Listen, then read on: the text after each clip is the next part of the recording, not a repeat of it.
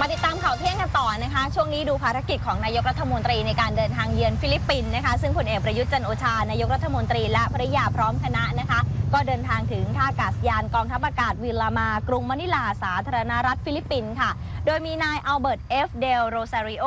รัฐมนตรีว่าการกระทรวงการต่างประเทศเอกอัครราชทูตสาธารณรัฐฟิลิปปินส์ประจำประเทศไทย เอกอัครราชทูตไทยณกรุงมะนิลา พร้อมกองทหารเกียรติยศให้การต้อนรับค่ะ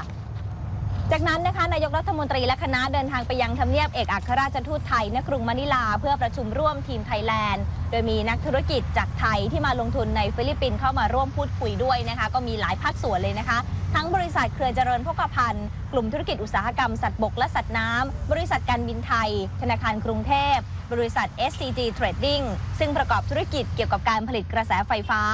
นายกรัฐมนตรีก็สอบถามถึงปัญหา แล้วก็อุปสรรคเกี่ยวกับการลงทุน รวมถึงผลประกอบการและลู่ทางการดำเนินธุรกิจในฟิลิปปินส์ค่ะ ทุกบริษัทนะคะบอกตรงกันว่าประสบปัญหาติดขัดเรื่องขั้นตอนของระบบราชการที่ล่าช้า ต้องการให้มีการปรับปรุงค่ะ